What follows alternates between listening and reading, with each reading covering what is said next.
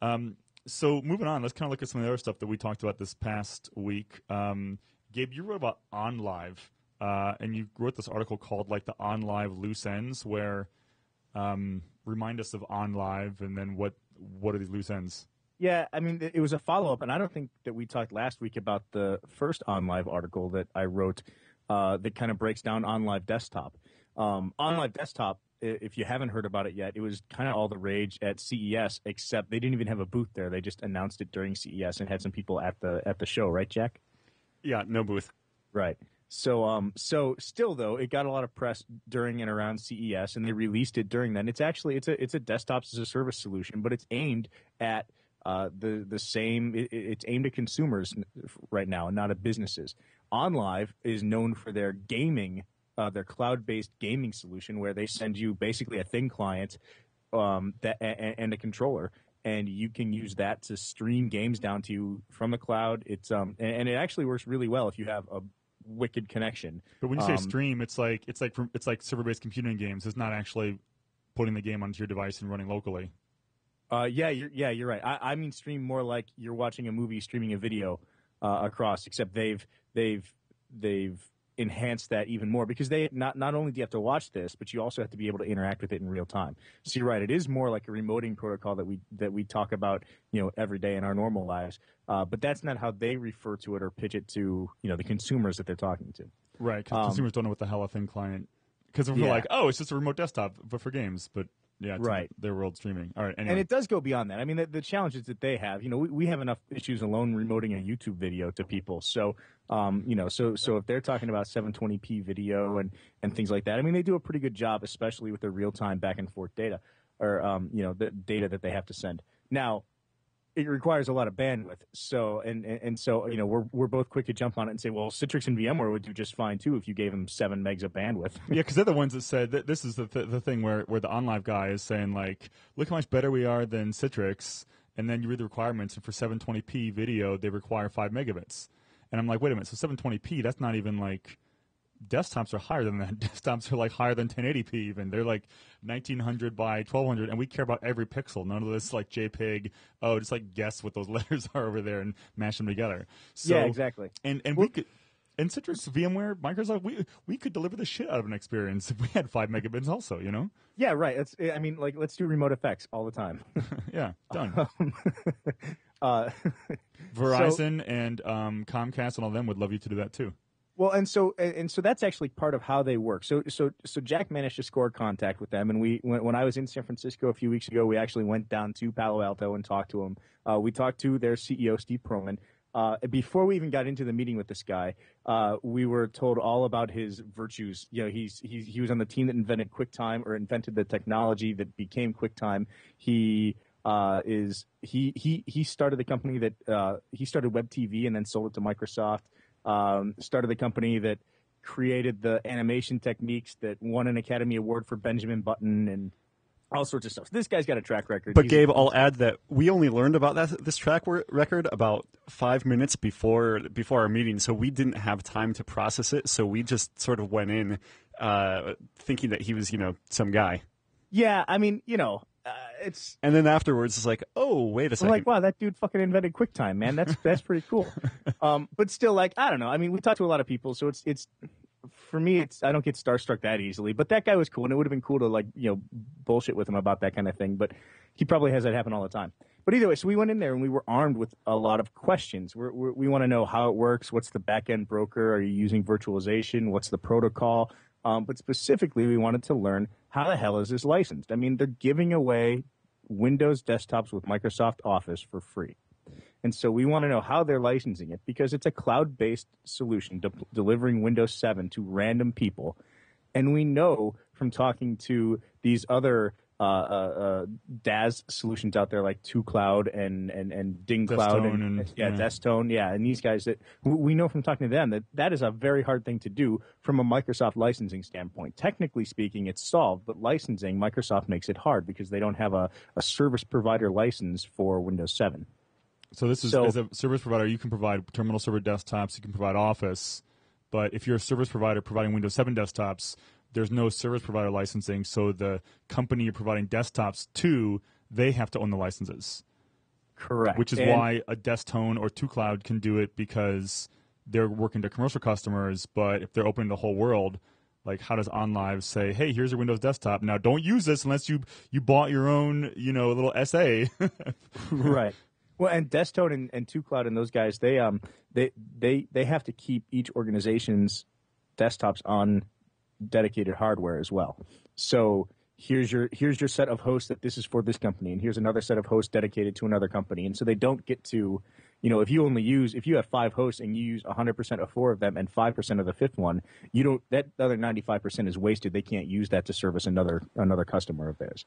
Um, so th- there's all sorts of intricacies. It's easy enough to work around, but Microsoft can make it easier. I was gonna say for those listening now to this, what Gabe was talking about, we'll revisit this in the "Why Brian Hates Microsoft" segment of the show later.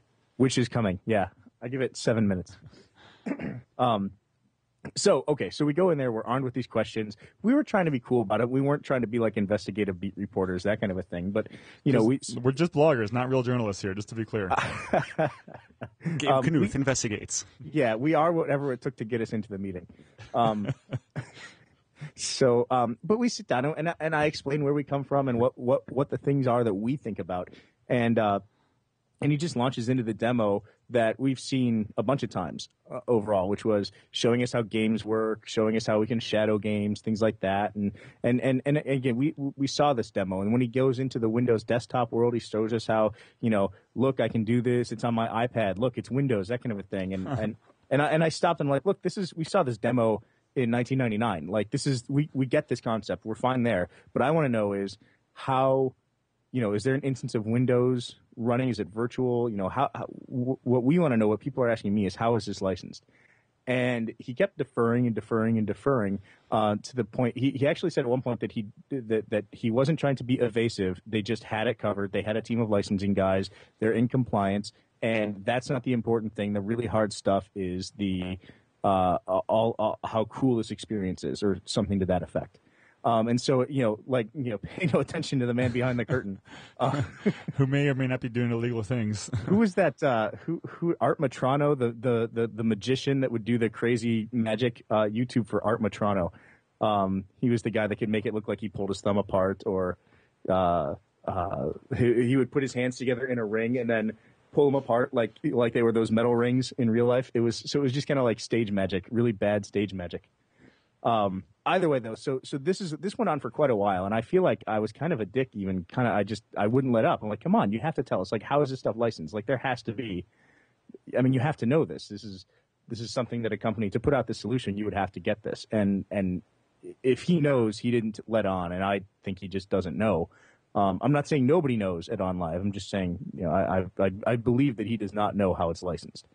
Um, so that was kind of a disappointing thing to come out of there with, and and that was the crux of the article that I wrote, breaking down the solution. I explained how it works. I explained how you know they they get such good performance with the games because they do uh, this JPEG kind of compression when they can't keep up their UDP stream.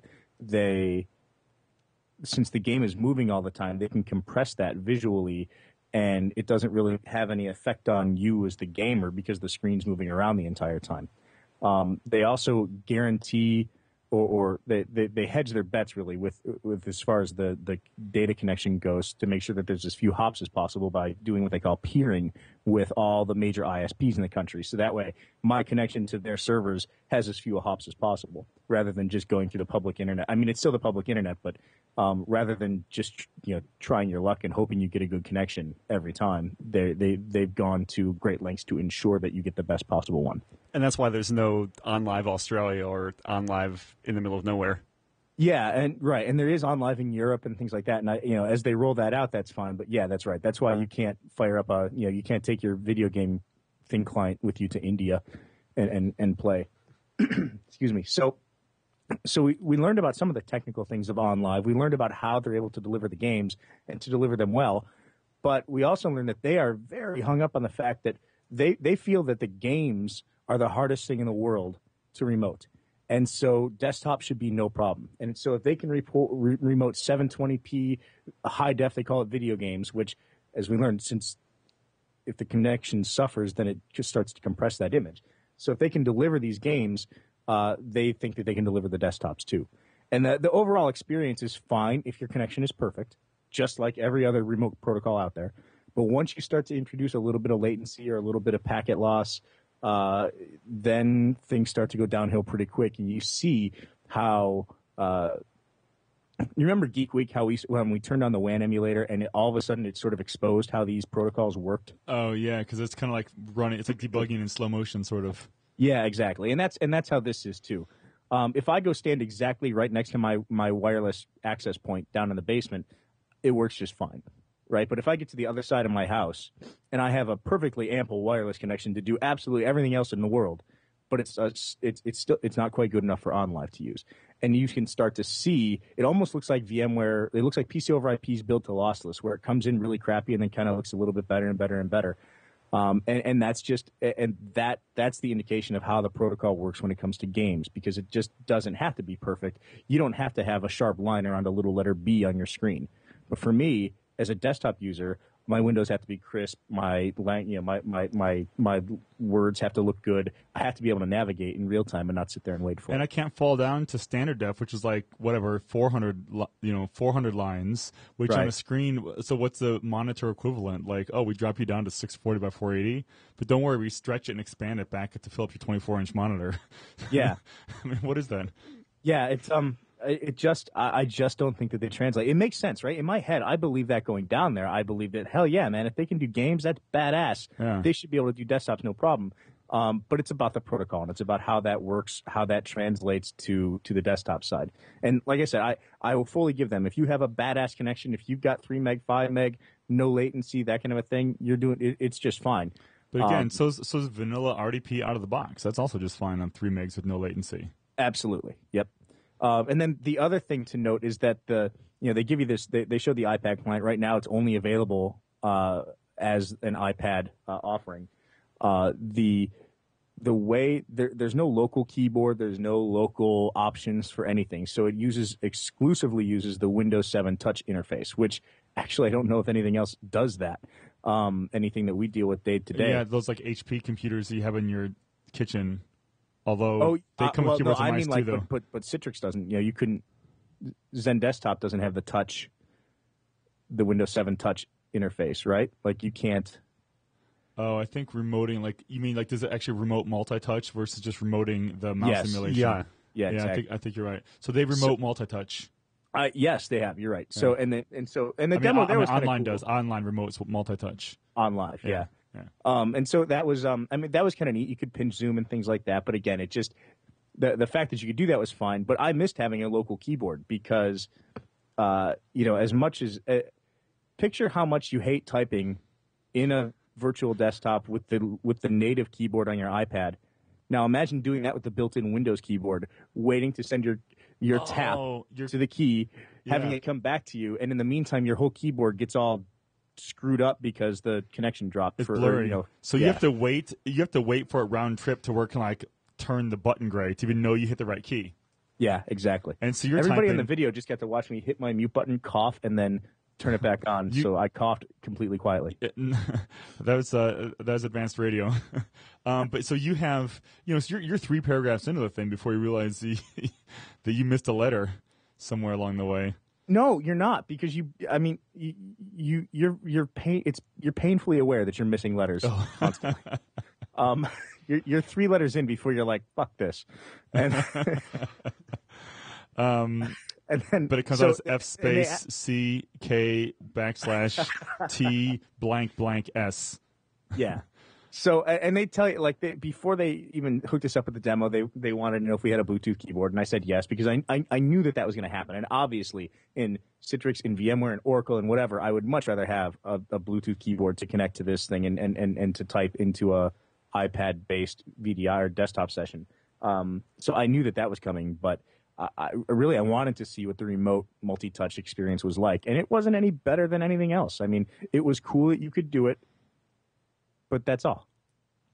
So, so so that that was all the first article, right? So that was all like breaking down OnLive. That spurred a whole lot of discussion about how they're doing desktops and the licensing behind that and so on. And you could imagine, you know, guys like Geese were uh, from tuCloud were were very uh, vocal in, in the conversation around that. And um, Well, yeah, all the real all the real cloud desktop providers are like, are these guys like they have a secret private agreement with Microsoft, or are they just ignorantly breaking the license agreement? Or well, right, and there's only so many options, right? Yeah. Like, yeah, you could be you you. I- went I, I went so far as to, I, I never actually said that they're breaking this, you know, because I it's all speculation, right? So I I, I don't want to say that they're knowingly but you can say I speculate that they're breaking license agreements. Well, that's exactly what I said. So I mean, so but that so that's one of the options, right? So Yeah. the, one is they're they're blissfully unaware of it.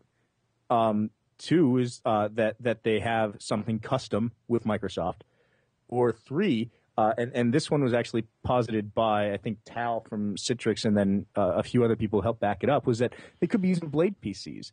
Um, they and if they were using Blade PCs, I learned that they're running Windows 7 Enterprise. By the way, once I got in, I was able to poke around and see what was going on. So they could be using Blade PCs, uh, which is dedicated hardware, and then remoting that to people. And if and and if if it's dedicated hardware, and then you can do whatever you want with it. And cause, because we're not using, it's at that point it's more like LogMeIn. Right. Yeah. And the thing is, so the the because someone was mentioning, you know, they so OnLive also does with their games, their video game service, they offer access to Windows games. Mm-hmm. So and Windows games presumably require a properly licensed copy of Windows. So presumably they either had an agreement with Microsoft that worked with those Windows games, or they were like you were saying, maybe they're using Blade workstations with a central image streaming to stream down the game or something like that. So presumably they already had some legal mechanism in place to deliver Windows games to people, so they could maybe leverage that for their Windows desktops. My favorite is the big fu to Microsoft uh, theory that they had this custom games thing worked out that was supposed to be just for games. Um, like, okay, this is fine. It's just going to be, you know, you're going to be running Windows it's like the kernel, but you know, the games are just going to be there, and it's just going to be access to games. And then OnLive finds a loophole and says, hey, hey, we can do desktops too. Okay, and then starts putting the desktops out there, which I think is funny. I mean, who knows? I, I doubt that Microsoft would let that happen, but uh, you never know. Yeah, wow. So that so that that's where the loose ends article comes into play. Uh, somebody jumped in there and and found a VMware folder in C colon program files. Uh, I jumped in and looked at it too. Unless they're doing some trickery to hide the files from us, that folder is empty. Um, so my guess is that they just built the base image in VMware Workstation or something, and then saved it, and that folder just is you know still there, a, a remnant. Because there's no evidence of the agent, the, the VMware desktop agent, or anything like that. I can't find anything Yeah. right. So, and and that's not to say they're not there, but you know, uh, uh, skin deep, it doesn't look like they're doing that. Yeah. So, uh, I mean, they could be, but. Um, and then, so I I went on, like, you know, I mean, so are they using VMware? Are they using dedicated hardware, custom licensing? Those are all boring. So I thought, you know, I wonder. so, somebody actually pointed this out to me on Twitter, so I didn't just make it up out of thin air, but somebody wondered if they were an acquisition target. And so I got to thinking, I wonder who the hell would buy them. And then I remembered this article that you wrote, I don't know, 18 months ago, something like that, where you were, maybe it was two years ago, you were talking with Benny about the Oh. whole point of RemoteFX. Yeah. And Benny suggested, he's like, dude, this isn't about, you know, remote protocols for, you know, local desk or for, for desktops in your organization. This is about serving Windows from the cloud. And then it went on to become this is about Xbox from the cloud too. I mean, think think of where this could go, and this could go to Xbox from the cloud as well. And so we're now, so then I think, all right, so we got games from the cloud, desktops from the cloud, all via this protocol that really works well when you got a bunch of when you got a bunch of bandwidth. By a guy who's built and sold companies To Microsoft Microsoft before. and Apple, and these big these big enterprise IT Yeah. companies. Yeah. So I feel like you know, I, I I feel like it's a little bit more qualified than a crazy ass suggestion, but um, you know, because it's not completely off, off off the wall. Uh, but but other than that, like I I mean, all I did was put these pieces together and kind of make this up. So, but I feel like, I mean, it could happen. it's one tick away from uh, Crazy completely ass. crackpot theory. Yeah, but the Yeah. thing is, but that's but but but um, but protected though. because right. This is we're the kind of saying, thing you hang your hat on. Because in six months, when this happens, guess who yeah, got it? You know. Yeah, that's right. um, Uh, so we don't so- know any close. I mean, we're, we're we're no closer though to knowing what the hell they're doing. Like we do, we still to this day don't know no, how the and- hardware is. We don't know how they're licensed.